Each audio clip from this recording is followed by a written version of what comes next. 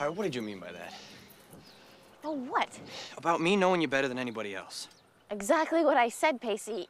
You know me, okay? In a, in a way that nobody else besides Dawson ever We're not has. talking about so- Dawson right now. We're talking about me. I mean, you can't keep on doing this to me, Potter. what?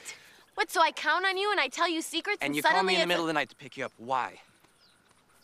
I'm sorry that I called. I thought that I I'm not mad that you called me. I just want to know why you called me. You were the first person that I thought of, Pacey. And what does that mean, Joe?